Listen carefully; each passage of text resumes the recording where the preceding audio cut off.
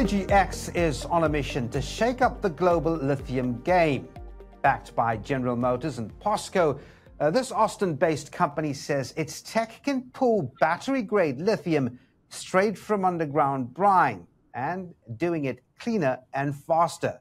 CEO Teague Egan, a former early Tesla investor, now leads major projects in Texas, Arkansas, and Chile, aiming to power the world's EV transition. He joins me now. Teague, thanks very much indeed for talking to us. Thanks for having me, Devan. Good to see you. Great. Listen, I want to start with Lone Star. I mean, EnergyX's flagship lithium initiative in uh, the southern US. What's your current production timeline for Lone Star Lithium, and when will we see revenue there, Teague? Yeah, so we just made a big acquisition um, that added 35,000 acres to our land holdings bringing us up to 50,000 acres, which gives us a really sizable position uh, to start working on production. And we're building a demonstration plant currently right now that will be producing around 100 tons per annum of lithium. That's still not nearly commercial volumes, uh, but that gives us a really good indication to go build the commercial plant, which we have targeted for the first train in 2028 of 12,500 tons, followed by three additional trains by 2030 to equal 50,000 tons per annum. Yeah, you're doing all of this at a time when you look a lot of eyebrows on lithium. It's been up and down. People have been guessing where it's going. what's your take on lithium demand and, and how it's shaping up in, in the near future? So I, I think about it uh, where the price is actually somewhat separate from the demand. Uh, mm. Of course, we have seen very volatile prices over the last handful of years. The price went up to $80,000 a ton, which wasn't good for anybody. You can't sell affordable electric vehicles at that price. And now we're seeing it down at around $10,000 a ton. Uh, but that aside, the overall demand is still increasing. Um, just last year, we were at 17 million electric vehicles produced. Uh, and that's up from, you know, it was 500,000 electric vehicles in 2015. So we're seeing huge uh, increases in electric vehicle production, which inevitably means more lithium demand. There's also other categories like energy storage systems. And I am a big believer in humanoid robots. I think we're going to see, you know, billions of humanoid robots by 2040, 2050 uh, which will all drive immense lithium demand moving forward. All right, let, us take this back to the site now, the Smackover Formation, right? Emerging lithium hotspot in the U.S. South. Uh, can you explain why this is ge- this geological basin is so important for your long-term strategy? And I'm, I'm curious to know who's funding it.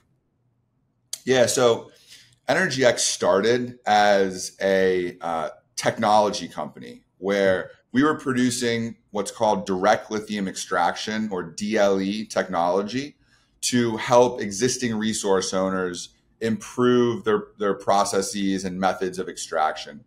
Uh, so the first five years of the company, from 2018 to 2023, we were exclusively focused on technology. And during that time, we were assessing all of the resource owners really globally. Uh, mostly throughout South America and the Lithium Triangle, but also North America. So we looked at all the different deposits in uh, the United States, in California, in Utah, Nevada, um, up in the Northeast, uh, the South, the Southeast, and ultimately we settled on the Smackover Formation being the best lithium deposit in the United States. Now, I think this was validated when ExxonMobil made their big acquisition, their first venture into mm-hmm. lithium. They acquired 100,000 acres in Arkansas. Um, and that kind of created the gold rush. And now, you know, a lot of Chevron just made a 100,000 acre acquisition. So we're surrounded by Exxon and Chevron. And this deposit has some of the highest grades of lithium in the US. Uh, it also has some of the lowest impurities and it's a manageable brine. The temperature uh, isn't crazy high; it's it's pretty moderate, so it makes it um, uh, what we believe to be the most accessible lithium deposit in the U.S. And it just so happens it's kind of right here in our backyard in Texas. Yep, and what's not in the backyard is, is Chile, right? I mean, your Black Giant project. It's ambitious. Uh, what regulatory permitting hurdles remain there? And I mean, I'm interested to know how exposed are you to political risk there, if any? Yeah, so the reason that we decided to pursue two projects in parallel the US project Lone Star, which is Texas, Arkansas, or the Smackover Formation, and, and Chile um, is just that exact reason the, the mm. potential foreign country risk. And the best lithium deposits in the world are in what's called the lithium triangle, which is the high Andean mountain range, um, the salt flats that exist up at this three, four, five thousand meters, um, which is northern Chile, northern Argentina, and southern Bolivia. And uh, Argentina started seeing a huge influx of foreign investment um, because Chile had previously had a law prohibiting any new entrants other than the main two that were there, Albemarle and SQM, from developing new lithium projects. Bolivia is kind of all state owned and nobody really wants to go there. Um, but Chile saw all this new investment going into Argentina and they said, hold on, wait a second. We want to participate in some of that.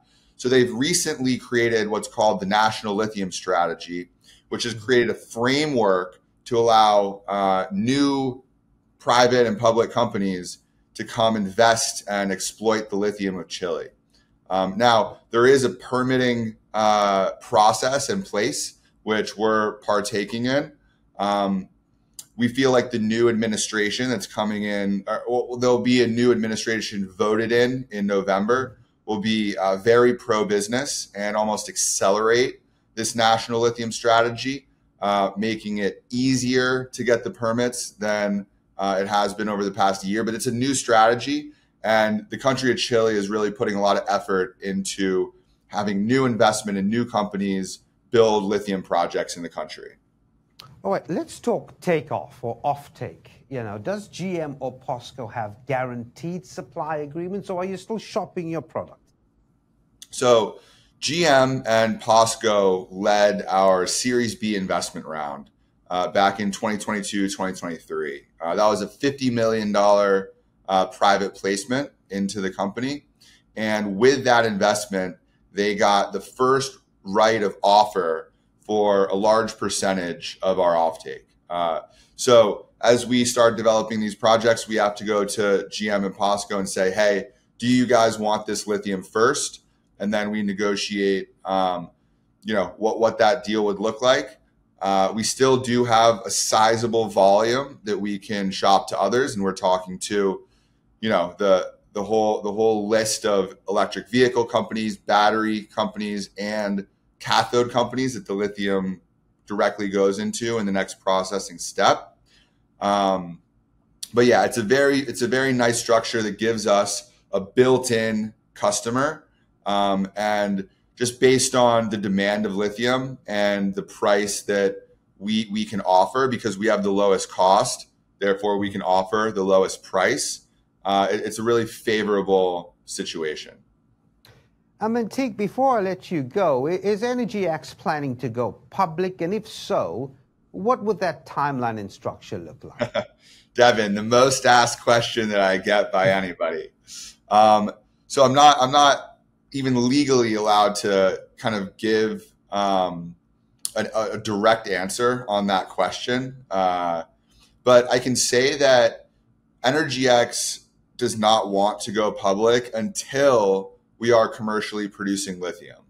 Um, we don't want to be one of these kind of speculative, uh, publicly listed companies in the battery supply chain that doesn't have commercial revenues yet, uh, which are obviously generated by commercializing our first trains of lithium production.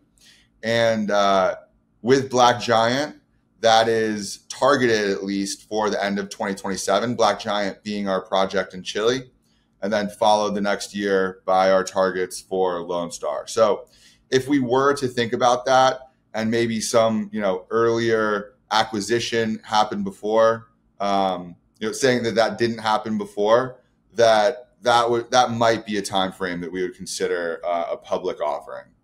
Yep, no, fair enough. Uh, compelling initiative, though. Well, thanks very much indeed, CEO Teague Egan there, uh, the uh, EnergyX CEO. Appreciate your time. Good to see you, buddy.